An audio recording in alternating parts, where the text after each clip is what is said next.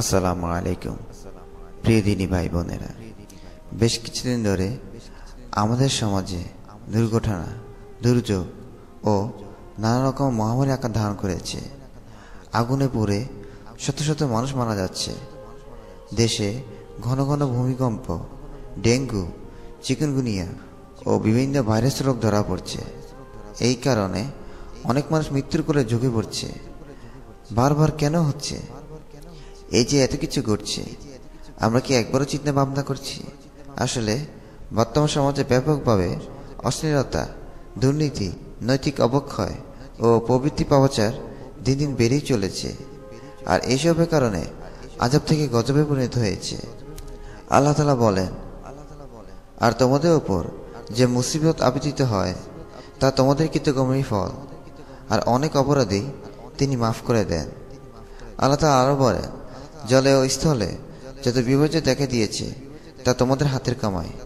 আর এর দ্বারা তিনি তোমাদেরকে শাস্তি আস্বাদন করান, যাতে তোমরা অসৎ পথ থেকে ফিরে আসো হজরত আনাস থেকে বর্ণিত রসুল সাল্লাহ বলেন, যখন আমার উম্মতেরা নিষেধার্ব সেবন করবে, গায়িকাদের নিয়ে নাচ গান মত্ত হবে এবং বাদ্যযন্ত্র নিয়ে ব্যস্ত হয়ে পড়বে, তখন অবশ্যই তাদের উপর ভয়াবহ তিনটি বিপদ আসবে।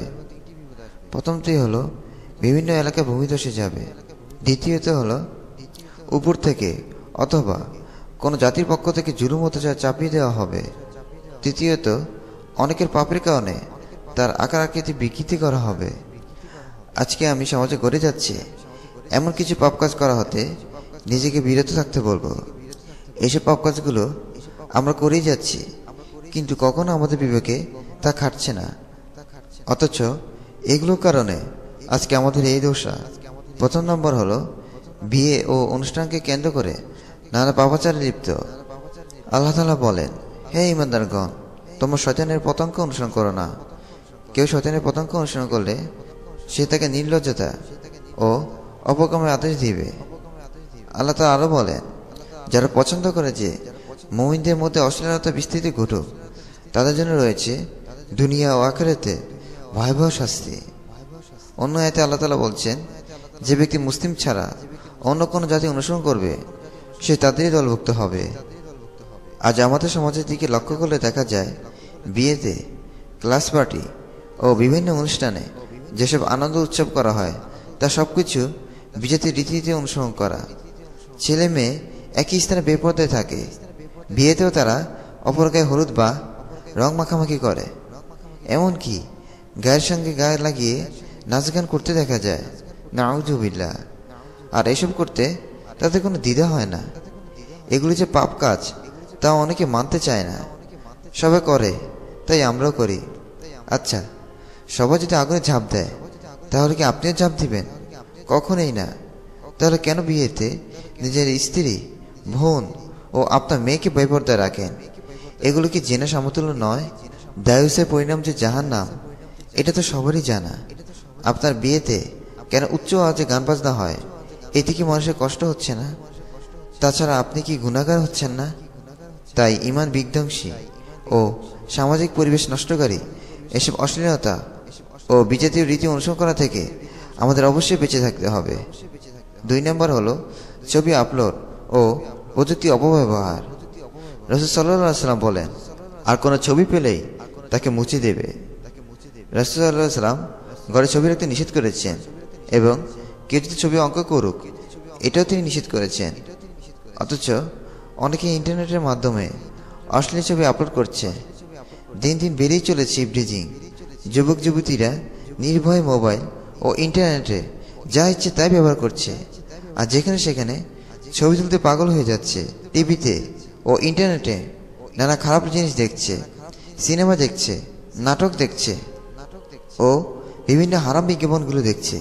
আর তরুণ তরুণীরা এসব জিনিস দেখে লাইক কমেন্ট ও শেয়ার করে যাচ্ছে এবং শরীরের গঠন আকৃতি, সৌন্দর্য নিয়ে আলাপ আলোচনা করছে। এগুলো কি চোখের জিনা নয়? তাই এসব কর্মকাণ্ড সাময়িক আনন্দ তৃপ্তি দিতে পারে। কিন্তু আমাদের যে কত বড় ক্ষতি হচ্ছে, তা আমরা চিন্তা করি না। তিন নম্বর হলো ফ্যাশন নিয়ে মাতামাতি। অধিকাংশ মানুষই অনুকরণা প্রিয়। মানুষ নতুন কিছু পেলে সে খুব সহজে অনুকরণ করে নেয়। ভালো হোক আর মন্দ হোক, সে এসব বিচার করে না। তাই তো অধিকাংশ মানুষের স্লোগান হলো, যেমন করি তেমন চলি।